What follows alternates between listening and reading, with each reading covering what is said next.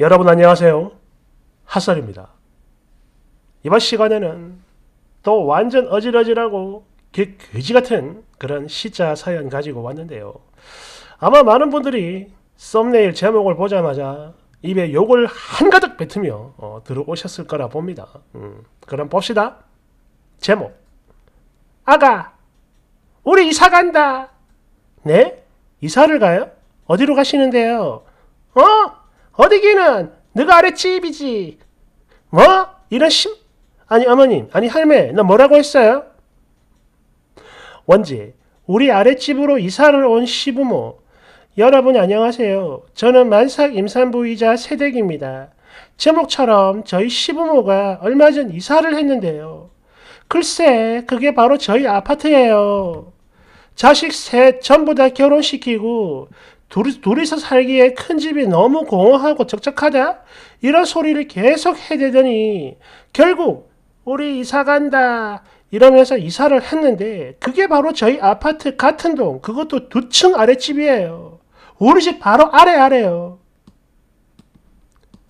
아니 저는 막 적적하다고 다 싫다 그래서 어른들이 많이 그렇게 하는 것처럼 저 멀리 시골에 고향 쪽으로 생각을 하고 있었는데 이게 무슨 날벼락이래요.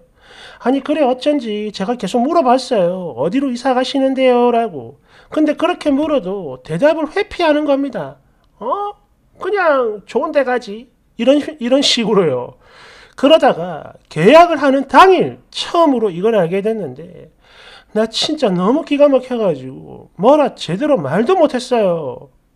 예, 계약하는 당일에 알게 됐다 이거죠. 이사가 자기 아래 아래 집이라는 걸. 야. 근데 되게 어처구니 없어 하는 제 눈치를 본 건지 아이고 우리가 보니까 여기 위치도 그렇고 뭐 가격도 그렇고 여러 가지 고려해 보니까 여기만한 곳이 없더라. 그래서 하는 거다. 이러는데 아니 제가 당신의 그 속을 어떻게 알겠냐고요. 아니 솔직히 말해서 이거 너무 뻔한 거 아닌가요?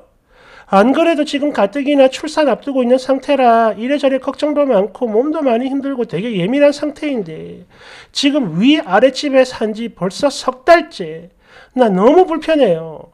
막말 좀 하자면 사람이 확 돌아버릴 것 같습니다. 일단 제가 휴직 중인 걸 알고 있으니까 툭 하면 전화를 걸어가지고 꽁꽁아 너 집에 혼자서 뭐하니? 내려와라. 우리 같이 점심이나 먹자. 이러면서 사람을 오라가라 부르고 아니요 어머님 저 오늘 힘들어서 못 갈 것 같아요. 그냥 여기 있을게요. 이러면은 그래? 힘드냐? 그럼 뭐 내가 올라가지 뭐 물론 다른 임산부들도 다 비슷하겠지만 저 같은 경우도 그래요. 임신을 하고 소화불량이 너무 심해져서 밥을 먹으면 반드시 30분 정도 천천히 산책을 해야 되거든요. 이거 안 하면 하루 종일 너무 힘들어요. 장이 꼬인다고. 그래서 꼭 해야 되죠. 그리고 시부모가 이걸 계속 같이 하고 싶다면 달라붙습니다.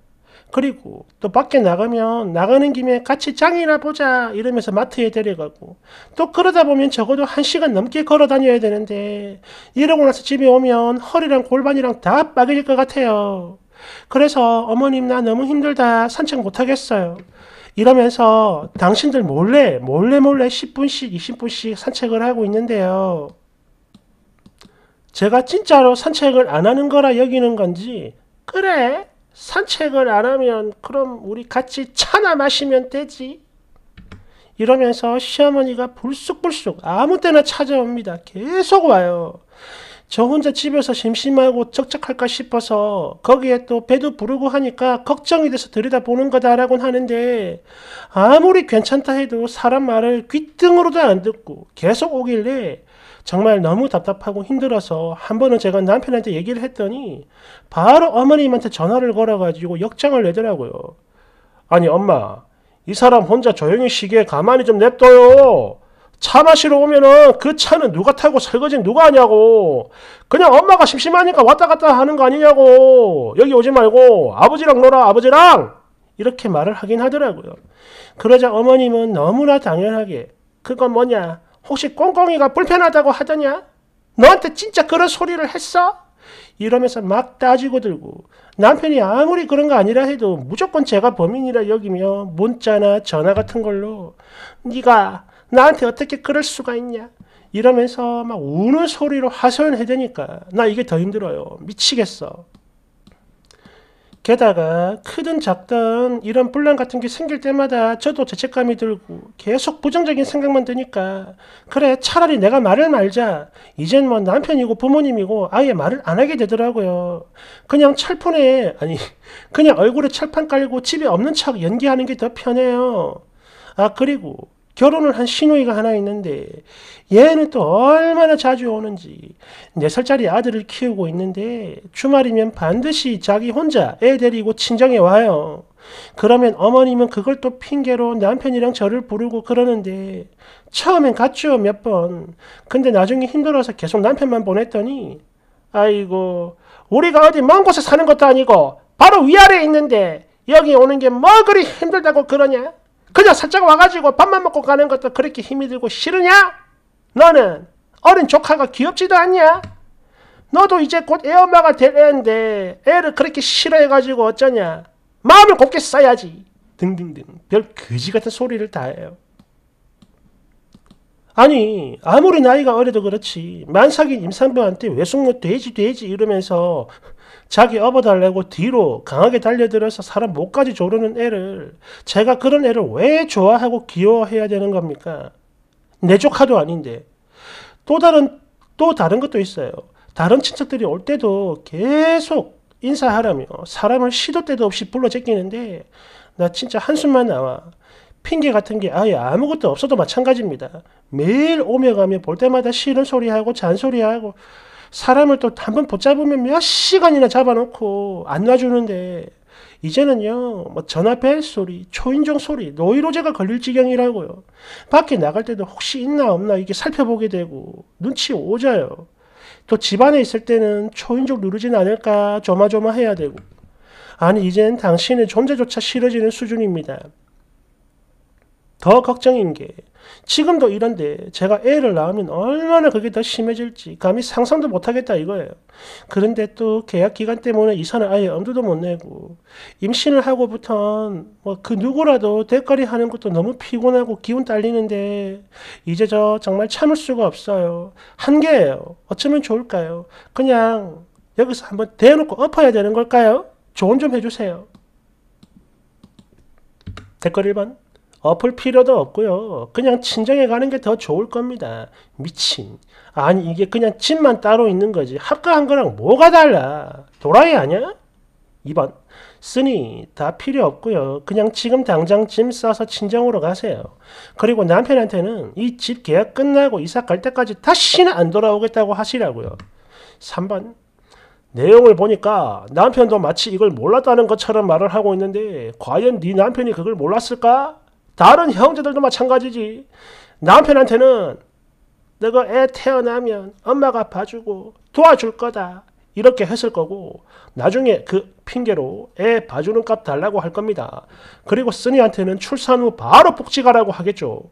처음부터 다 짜고 치는 고소톱이고 그러니까 너 당한 거라고 공사 당한 거요. 내 댓글 이게 맞죠. 100%야. 온 가족이 짜고 쓴이를 속인 거라고. 4번. 애 새끼가 뒤에 매달리고 목도 조르고 힘들게 하면 그냥 그대로 배 잡고 인상 쓰고 집에 가서 눕겠다고 누워버리세요. 신우이는 친정을 그렇게도 찾아오는데 너는 친정 없어요? 왜 안 갑니까? 가라고. 5번. 아무리 계약 기간이 남았다 하더라도 집주인이 상식적인 사람이라면 저 임신했는데 시부모가 민미층으로 이사를 왔어요. 이렇게 말만 해도 바로 나가라고 해줄 겁니다. 부동산 비용 다 드리겠다 하고 얼른 나가세요.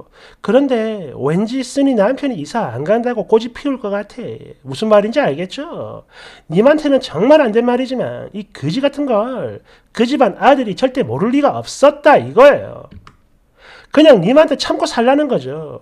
글 써놓은 것만 봐도 사람이 순둥해 보이는데 아이고 평소 시부모랑 남편이 너도 그렇고 니네 친정도 그렇고 얼마나 우습고 만만하게 보면 이럴까. 아유, 안 그래요? 6번 쓴인의 아래 아랫집이 비어 있다는 사실을 어찌 알았답니까? 이거는 쓴인 남편 주둥이가 아니고서야 절대 불가능하거든. 네 남편이 정보를 준 거라고. 그러니까 이건 쓴이만 빼고 다들 한패거리다 이거지요. 남편 믿지 마세요. 사악하기가 그 독사보다 더 그지 같아. 대댓글. 엄마! 우리 밑에 밑에 집에 지금 집 나왔거든. 기회니까 얼른 우리 꽁꽁이 몰래 준비해가지고 들어오라고. 7번. 지금 당장 쓴이 집만 빼서 친정에 가는 거 추천합니다. 나도 신우이지만 내 부모가 만약 저 꼬라지라면 내가 먼저 나서서 피 터지게 싸울 거야. 미친 거 아니야 이거. 8번. 네 남편은 이미 처음부터 다 알고 있었습니다. 절대 모를 리가 없어요. 그리고 지금도 이렇게 쳐앵기고 들러붙는데 애까지 낳아봐. 아마 진짜 끝도 없을 거다. 출산하기 전에 이사를 하든지 아니면 출산을 하고 바로 이사를 하든지 옮기든지 해요. 지 하고 싶은 대로 하고 배려가 없는 인간들은 그게 뭐 시가든 친정이든 그냥 무조건 멀리 해야 사람이 살아. 9번 그 참 되게 순진한 여자분이구만. 일단 남편부터 친정으로 끌고 가가지고 영혼까지 탈탈 털어주고 쓰리는 그대로 친정에 눌러 앉아버리세요. 진짜 그지 같은 진상 시부모 만난 겁니다. 분명히 말하는데 님 남편 100% 한통속입니다. 몰랐다고? 거짓말이요. 10번 와 미친 보자마자 바로 여기 튀어나오네. 댁 남편 화낸 거요. 그거 전부 다 연극이고 쇼예요. 사전에 저그들끼리 특히 네 남편 놈이 적극적으로 엄마 집 비었다고 빨리 이사 오라고 이렇게 작당 모의 한 거라고 아시겠어요? 엄마가 애 봐주고 여러모로 좋을 거다 이렇게 여긴 건데 물론 좋겠지 근데 이건 순전히 지한테만 해당되는 거고 며느리 쓴이는 평생 며느리 아니 종로릇 해야죠 11번 님 바보입니까? 아니 이분 뭐 하는데요? 어? 먹을 때만 써요? 불편하면 싫다 그러고 찾아오면 오지 말라고 해요. 계속 오면 계속 오지 말라고 해. 그 진짜 답답하네. 그래서 평생 그러고 살 겁니까? 12번. 보통 친정이 없으면 시자들한테 이렇게 무시를 당하죠. 여기 말고 갈 곳이 없다 여겨가지고 무시하고 짓밟고 그러는 건데 쓰니 인생 개박살 났어요. 앞으로가 더 큰일이라고. 지금이 문제가 아니야 이 여자야. 와 미친. 제목만 봐도 온몸에 소름이 올라오네. 파묘보다 더 무서워. 달달달달. 그렇죠. 어, 이거를 시부모가 그 집이 비어 있는 걸 어찌 알았겠습니까? 어. 누군가가 요거 요, 요 해준 거죠. 어, 그렇다면 범인은 단 한 명. 있으니 왠지 망한 것 같아요. 후기가 꼭 올라왔으면 좋겠습니다. 이왕이면 사이다로. 음, 감사합니다.